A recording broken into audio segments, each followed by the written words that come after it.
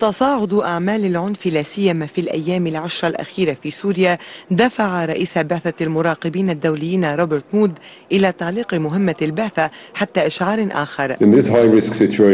في هذا الظرف الصعب البعثة ستعلق مهماتها والمراقبون سيبقون في مواقعهم إلى إشعار آخر. وقد جرى إبلاغ كل الأطراف سيجري مراجعة هذا التعليق يوميا ونعاود العمل مجددا حالما نرى أن الوضع يسمح بذلك. وقالت المتحدثة باسم بعثة مراقبي الأمم المتحدة أن رصاصا أطلق على سيارة تقل مراقبين من المنظمة الدولية بعدما أرغمهم أنصار الأسد الغاضبون على الرحيل من بلدة الحفة في محافظة اللاذقية إثر رشق قافلتهم بحجارة وقضبان معدنية. في حين أشارت الرواية الرسمية السورية إلى أن سيارات وفد المراقبين إلى الحفة صدمت مواطنين من ريف اللاذقية كانوا يريدون شرح معاناتهم لهم.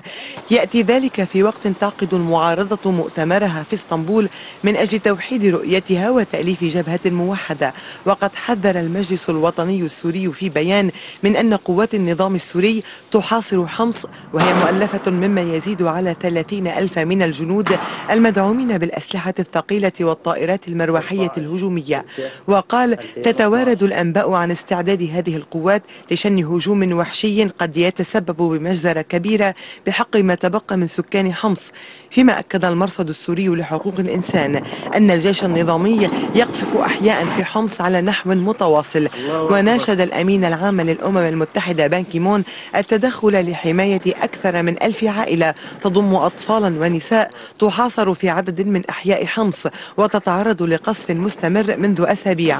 ونقلت مواقع الإنترنت المعارضة صورا لمقاتلين مسلحين في إدلب يشتبكون مع القوات النظامية في أحياء المدينة وشوارعها.